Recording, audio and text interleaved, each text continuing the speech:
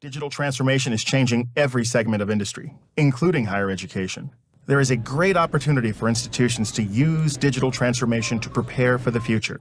As a result of establishing robust digital transformation plans and strategies, HBCUs have the power to accelerate student, researcher, faculty, and staff success and enable the institution's sustained success and growth for the future.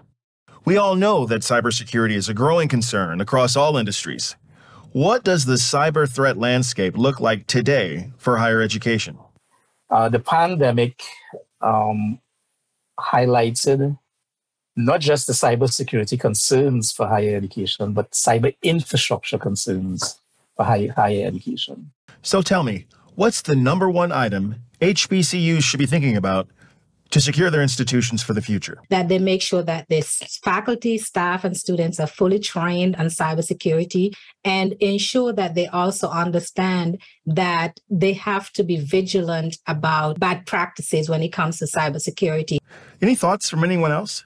I, I consider a some research from blackfog.com and they indicated across the world more than 51% of ransomware attacks happen right here in America. And institutions, due to outdated secure um, secure technology, fall victim to the ransomware attack, which is why technology and money isn't the solution. It's the cybersecurity awareness. So, what is the low hanging fruit investment every HBCU should make in cybersecurity?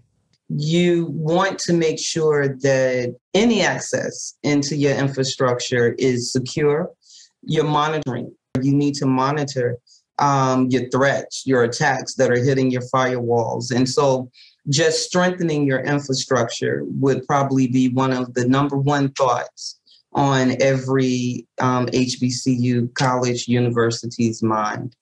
So, how will your HBCU adapt to educate students of the future? Technology needs to be used in a more dynamic and innovative way to make the student experience and, and even student success more easily achieved. So tell me, how can someone ignite change? I, I, do consider myself a change agent, but I also um, train students, you know, so they can be change agent on our campus as well. But that excitement is with the students because as they see me, you know, as someone you know, in my position, so involved in the technology and training of the students in innovation and, and technology that they too want to do it. Any thoughts from anyone else? So typically, when it comes to the ability to ignite change, you have to be willing to embrace it head first. You have to be willing to overcome your fears. You also have to be willing to incite challenges amongst the faculty, staff, and students. So tell me, what do you think are some essential skills for upcoming students? understanding you know the key elements in mathematics um, and, and some of the computer science basic skills. Um, oftentimes we find students want to get into these fields but they're not um, confident because they have not taken the time to get the basic um, math skills together. Care to weigh in damien? Problem solving skills. People need to learn how to work independently.